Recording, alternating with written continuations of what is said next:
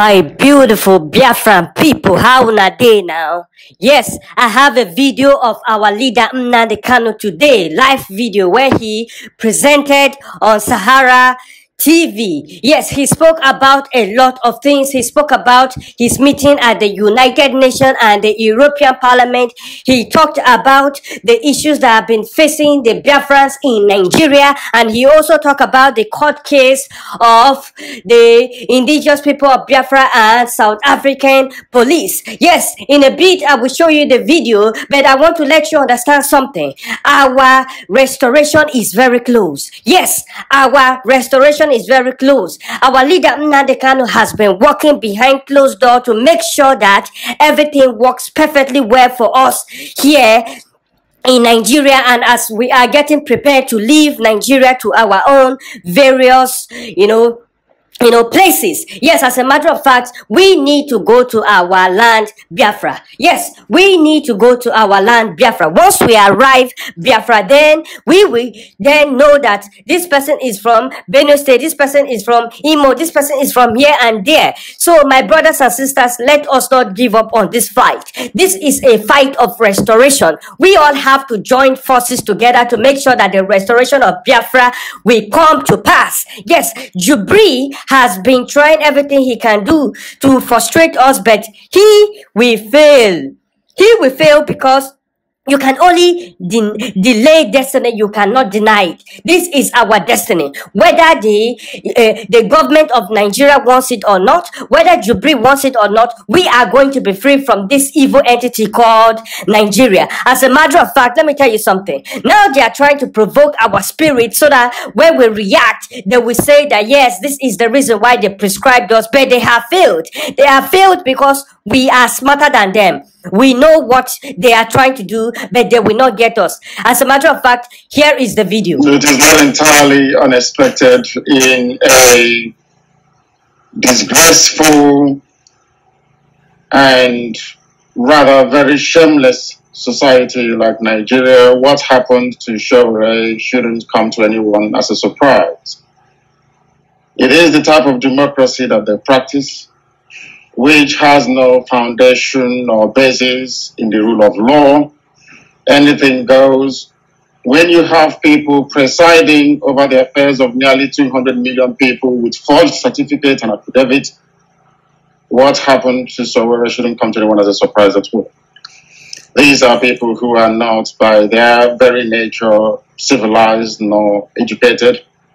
So they have a very primitive feudal mindset they are averse to dialogue and to discussion and to progressive ideas. All they understand is to kill and to loot. And that's what they've been doing, and that's the, what they will continue to do. Maybe now that they have oil in the north, or so we are led to believe, they will leave all of us alone. Now, okay, let, us go to uh, one of the charges, as I said in the intro. Um, the government is saying that you and Sowore met in New York and you conspired to overthrow the government. Will you be able to tell us what you discussed and if the government is uh, making this up? Of course, they are making it up. They will lock up anyone. And um, um, I hope and pray that the difficulties, or should I say challenges, that Aisha Buhari is currently undergoing is not related to my last broadcast or penultimate broadcast where I praised her for her doggedness and her determination. The thing about this set of um, paranoid um, um, kleptomaniacs you have, the Fulani cabal, is that they don't understand how democracy is supposed to function. My discussions with Sowore, um, we managed to put out in the open that same day following our meet. Anybody with any iota of conscience would want a place where they come from to be run properly. People want decent schools, you know, decent um, um, uh, hospitals, good roads, and job opportunities for the for the younger ones who are coming up. Not everybody is, you know, privileged to be sent abroad the same way that my father sent me abroad, or like Sowore himself who lives in America. Not everyone is, is privileged to be abroad.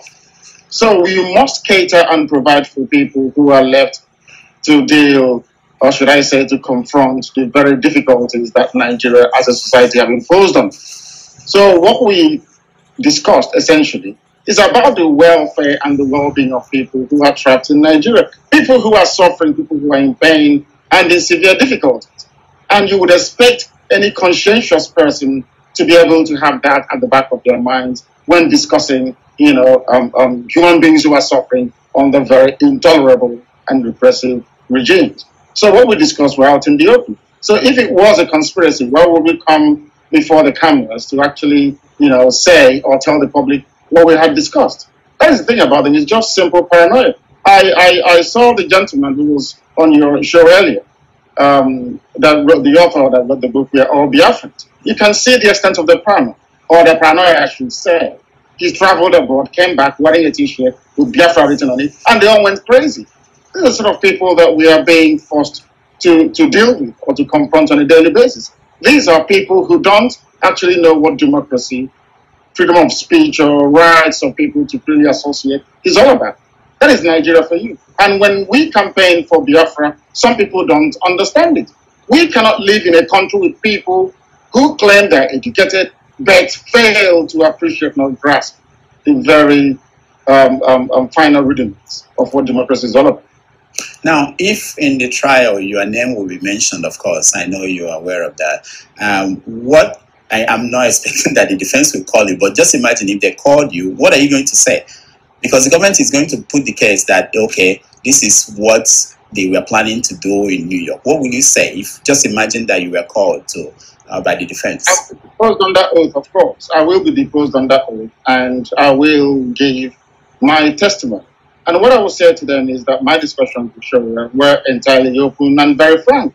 There's some discussion you will have, you know, with anybody who is seeking to better the lives of their people. Sowore is trying to do the best he can to help ordinary poor Nigerians. I am doing the best I can to help restore Biafra. Mm. It's as simple as that. Mm. So we met to have a discussion because after all said and done, today Biafra is located geographically within the damnable contraption called Nigeria. And Sowore, being an avowed Nigerian, um, wanted to have a discussion with me, and we met and had discussion. It's nothing to do with about replacing uh, uh, Buhari. After all, Buhari is dead. It's Jubril al-Sudani who is there. Why would want to replace the Sudanese? We just have to chase him, uh, you know, uh, to leave there and go back to, to, to, Sudan. You know, Buhari is not there. So this whole nonsense about trying to replace Buhari is all balderdash, and they know this. They're just trying to look for an excuse to, to incarcerate him. And I am sure that uh, Tinubu is behind this. That is, I am absolutely certain that Tinubu is behind this. So very soon he will regain his freedom.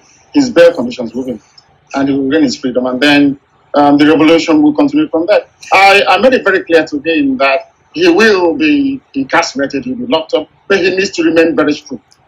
He will outlast all of them. Mm. At the end of the day, Sowore will emerge as a hero of the Yoruba race. I assure you. Now you said that Tinubu is behind. Can you give us um, your reason or the uh, evidence? You know, if you have any why you think Tinubu is behind his arrest.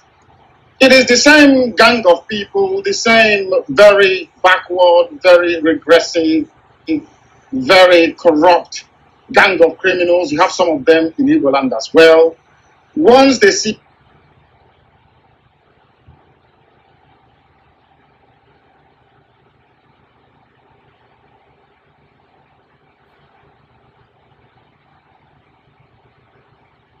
emerge, people they feel are younger than them, people they feel should be within the age bracket of their children, they begin to feel threatened.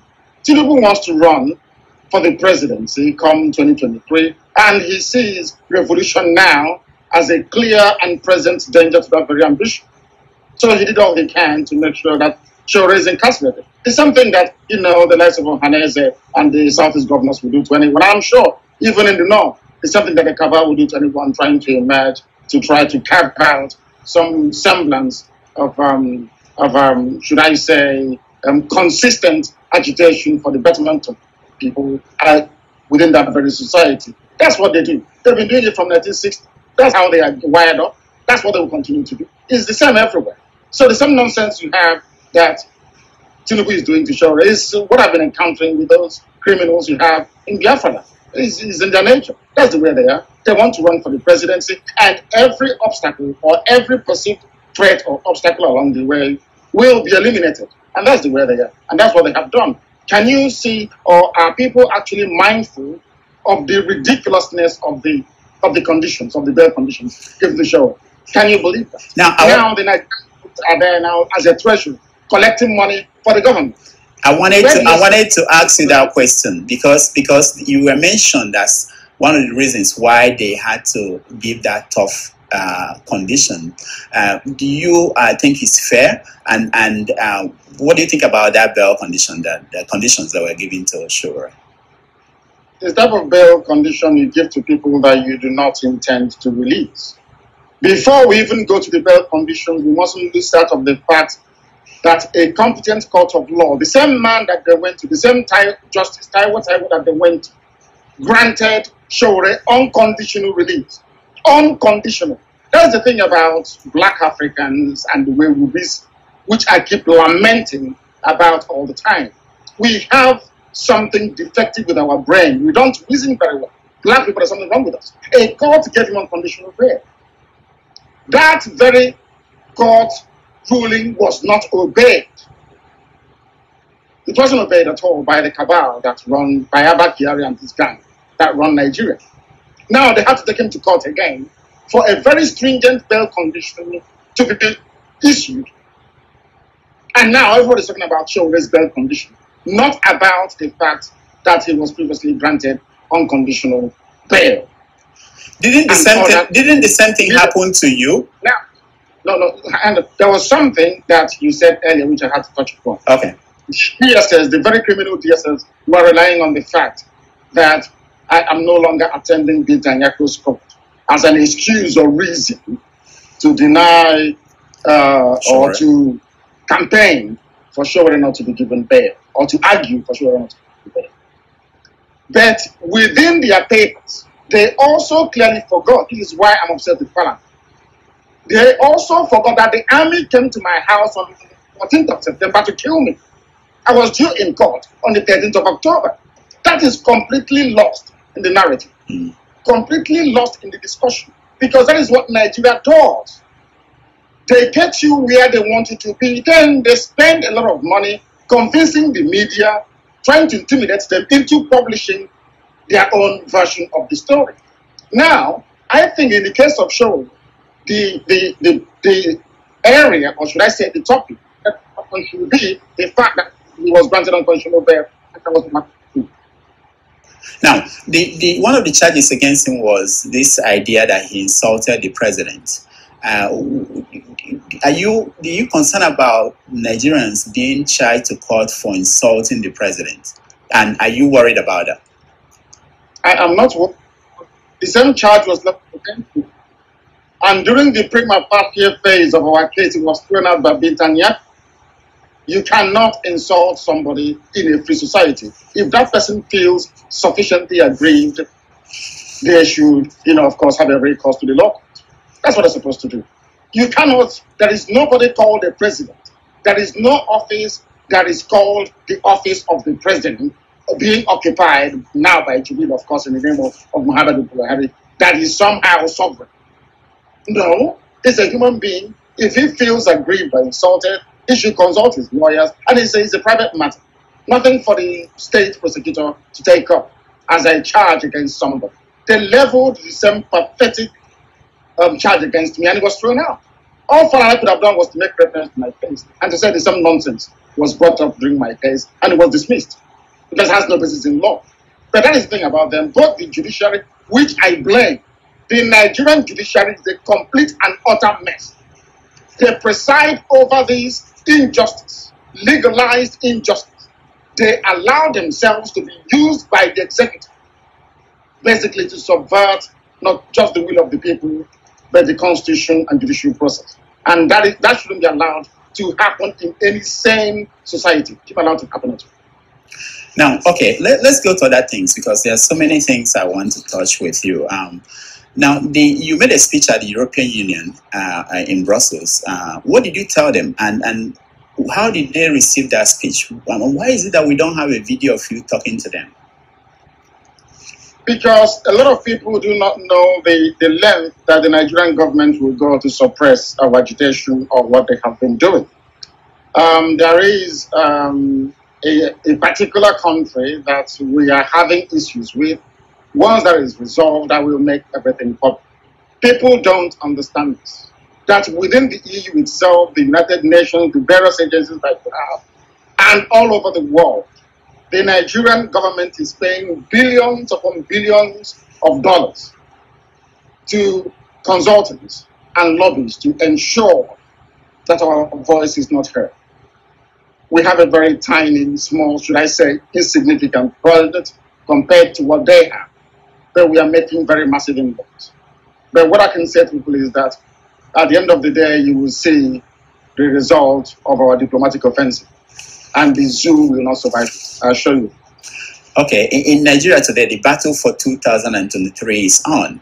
Uh, there are a lot of people making statements. One of them is uh, Junaid Mohammed, and he said recently that Igbo people should go to hell if they don't if they don't want to because they are denied presidency in 2023. Uh, that uh, if they want to secede, they should secede.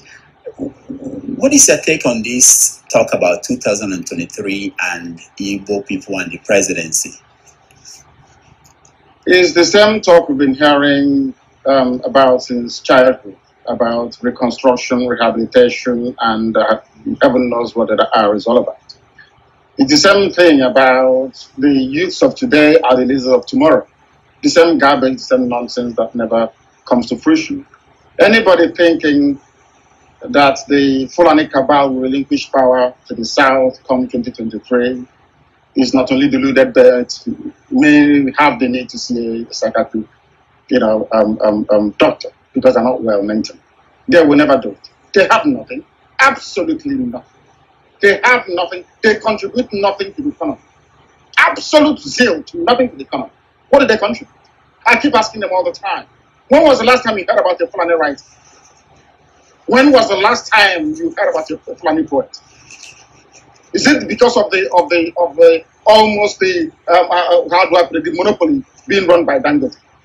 What do they contribute to the economy? It's absolutely zero. They contribute nothing. So they're holding on to power for their their lives because they understand that um, to relinquish. I mean, of course, they, they had a bit of it under Jonathan after Obasanjo and um, the brief tenure of um, Yar'Adua, Jonathan came They were almost dying on a daily basis. They wanted it back by all means. Thinking that power is coming to the South in this time. I would not allow myself to be drawn into this very debate because it is very childish. That means that our people have learned nothing. Anybody campaigning, anybody pushing for um, for the presidency to be returned to the South is, is deluded, quite frankly. I wouldn't even dignify them with any measure of um, contribution beyond what I've said right now. Do you, do you think the same thing about this uh, Ohanaeze group that came out and said that uh, people should forget about your movement and your group and Biafra and fight for Igbo presidency, that that's what's important. So those were the wise words of our leader Nnamdi Kanu. Yes, this is a sign that we know what is going on in this, you know, evil entity called Nigeria. Don't be deceived that Biafra will not come. Biafra will come. A lot of countries have left their various countries and formed their own country. As a matter of fact, Cameroon was part of Nigeria, but they were free at the end of the day. So this is the same way that Biafra will also be free, my brothers and sisters. Thank you.